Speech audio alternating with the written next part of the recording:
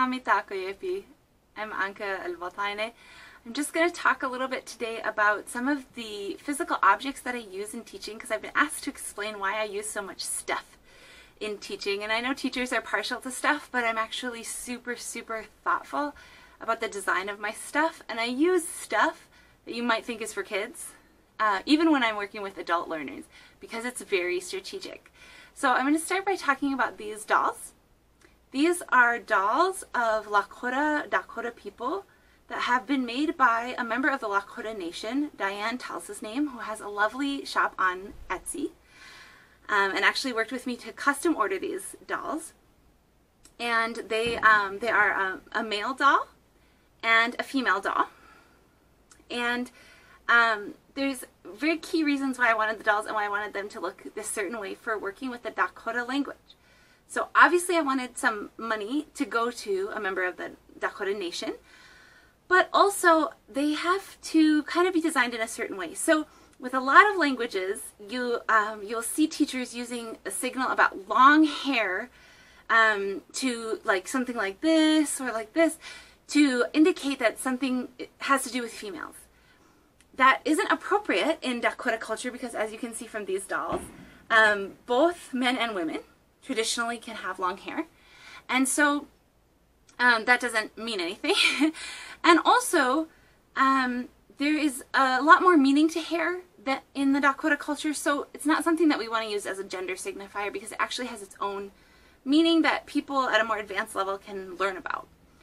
Um, the clothing, however, is a really good way to distinguish. Um, so um, Diane tells his name has designed this male doll to have um, a belt. So this is a sort of a ribbon in this case, but there's a lot of different materials that belts could be made out of in the real world. And so this belt runs around the waist. So that is a signal of male dress. And you'll notice that the woman is wearing a ribbon dress. Um, a lot of communities also use ribbon skirts.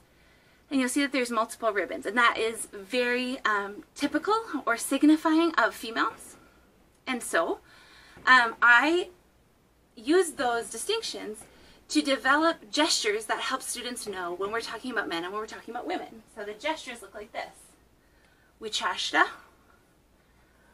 Wia. Wia. Wichashta. Wia. Wichashta. Wia. And so they learned that this is Wichashta and this is Wia. And that's extra important for the Dakota language because words are used differently by Wichashta and by Wian. So we don't want men to use a woman's word and we don't want women to use a, women to use a man's word. So it's important to have those signals from day one to teach them the different ways that they're expected to speak based on that gender binary. There's of course more to it, it's much more complicated, but we use that with um, beginners. I also want to say that Diane was able to make these little babies, which, um, of course, help us to teach the word baby um, in the beginning level. What is really great about there being two is that specifically in the Dakota language, the um, verbs, um, and, and most things are verbs, um, are different for multiple animate objects. So humans are animate, and so we, it's very helpful to have two and not only just one because a lot of things you will say differently. For example, you will say she has a baby differently. The verb will be, the verb to have will be different when she has babies. So, um, hokshiopa yuhe, hokshiopa wicha yuhe. So it's very helpful that there are multiple babies specific to the language. Now, there are some tools that I use that are not specific to language, and I use them because they lower the affective filter and they're fun. Um, I have to think ahead of time about how easy they will be to pronounce, and I don't want to break any taboos, but there can still just be things that are fun.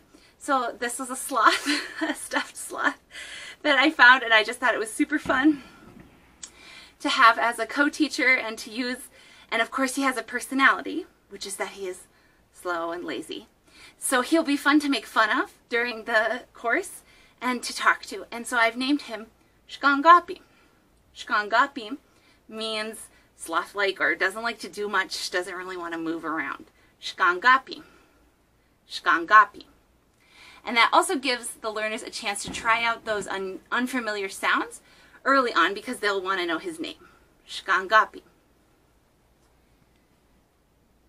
Going back to culturally appropriate tools, however, I searched far and wide and I actually found this um, stuffed spider, who is cute and not scary and that's good, um, in the town of Evian, France. It's made by uh, a brand from the UK called Jellycat, but I, I, didn't find it until I was in this um, relatively small city in France. And he's very cute and lovable. Um, but he's a spider, Unktomi. Unktomi is very important in Dakota culture. He's a trickster. He does different things. He's not necessarily evil or scary, um, he does different things, but he um, teaches lessons sometimes by doing tricks, by um, making people mess up. And so he's a great one to blame for our linguistic mistakes with our learners. And so um, from the beginning, we learn about Unktomi, and it also creates a lot of laughter as we find out who finds Unktomi to be cute? And says, Unktomi waching, Unktomi waching, I want Unktomi. and who says, Ooh, Unktomi wa And of course, the reason that it was so hard for me to find Unktomi is that spiders, of course, in European culture are considered dirty, scary, evil, bad, not cute, not cuddly, not funny, um, not clever. And so um, they don't make a lot of plush toys for them. Um, but they're not stigmatized in the same way in Dakota culture. And so he's a fun one to have around. And of course, people like to physically touch him when I can teach my classes when I'm physically present. But when I'm not physically present, I've also still tried to incorporate objects that give a tactile experience, a non-linguistic experience, because I'll tell you what, nobody ever forgets the names of these stuffed animals that we use. Um, they get really attached to them. And so that's also why it's important to give them a name that's a thoughtful name and not name them, you know, George or something, um, but a name that linguistically helps the students. Um, so is a big hit, that he's very cute and soft and plush. There are some tools that I will be using because of teaching online during these COVID days and into the future. And so one of them is that I'm no longer teaching my students out in the woods on the ground. so I can't pound on the ground and say maka, maka. I can't do that. Um, and it's kind of hard when you're sitting in your in your um, bedroom made to look like an office to indicate maka, so um, I have chosen this, um, it's actually a Christmas ornament that is a, a globe. And so that is makaki, maka. And that's a very important word and concept with Dakota culture. So I will introduce it early on. Um, and I will have something that's very clear what it is and that I can show, even though they will, of course, then have pictures of it and experience it in 2D. But the students will also, and uh, maybe this is a little bit of an advertisement if you sign up for my course, when I have a big enough cohort to run um, a live class with multiple students, I have also invested in some gifts for them. And these are very carefully chosen gifts. So they are, again, um, plushy and fun. They're little tiny ones and they're handmade. Um, again, I got them on Etsy, although I was not able to find these from a native person. That's a goal in the future. Um, but this is, for example, mato. Mato. So this is the, um, the bear, and that is culturally relevant. And so I chose woodland animals that are culturally relevant. You have your beaver, you have your bat, bat, you have a cute little skunk. I also have a leaf, a tree, a bird, um, a squirrel. So all relevant to Dakota Makoche, so the, the culture that we will be learning about. Um, and all kind of cute and fun and plushy. And they're just little cheap ones, but I will be mailing them out to the students so they will be able to physically interact with these. And they will learn each one's name. And I can promise you they will never forget the name of the one they get in the mail. So there will be an emotional and a tactile attachment to these. And that also gives us known words that will be really easy for them to remember because they will have they will know mato instantly. Um, and then I can use mato in all kind of different grammatical formations. So I, I teach using construction grammar. And I can throw mato into all different kinds of scenarios and they will recognize that word. And so it will make many, many more phrases recognizable to them while also having a certain cultural relevance and a familiarity to them. So there are certain things that are culturally relevant that may not be familiar to the students, particularly these students are largely going to be coming from um, European uh, cultures, um, either in Europe or in North and South America. I also work with some people in the Middle East who have gone to European style schools. So they recognize a lot of signs and signals and gestures from European culture, and so I integrate some of those, but never in a way that breaks Dakota taboos.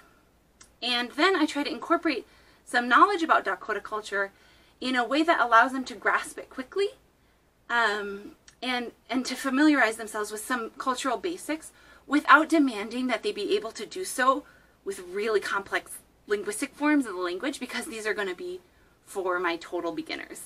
But even the ones who start out as total beginners and they remember this signal as weah, woman, they are going to be able to use their language in the intermediate and advanced classes to talk about ribbon dresses and ribbon skirts and what they mean.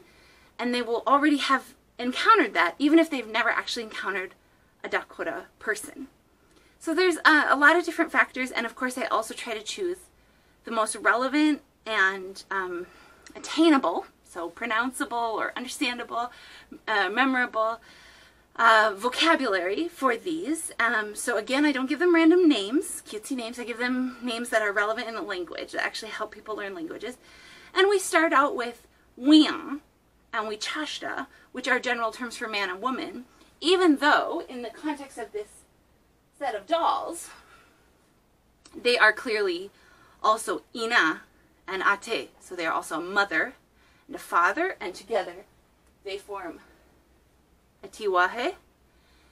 Um, we'll get to that, but first they learn the most general term that they can use with each other and that they can use to ask me questions about the language. So they can ask me from day one, is this a man's way of speaking or a woman's way of speaking using wian and wichashta? So ate, ina, tiwahe, mother, father, family, those words will come later based on the same characters and the knowledge that they already have of them. Um, so I'm creating a hybrid between how I do things in person, how I do things online, and I hope that it will be as effective online as it has been in person. I can tell you that I have students whose first language is Spanish, second language is Western Armenian, who live in Argentina, who took 20 lessons of Dakota with me one year ago. Before taking those lessons, they did not know that Dakota was a language, they'd never heard of it and they've never been exposed to it since because they don't have any idea how they could expose themselves living in Argentina to a critically endangered language of the upper Midwest. And they can send me one and two minute voicemails even now that are entirely in Dakota and I can understand them perfectly. So the courses are that effective and they remember these these characters really well because of that affective filter effect, which is that they're having fun they're having a lived tactile experience and it implants on them with positive emotions. So it's very effective. I hope this is helpful to you in your practice.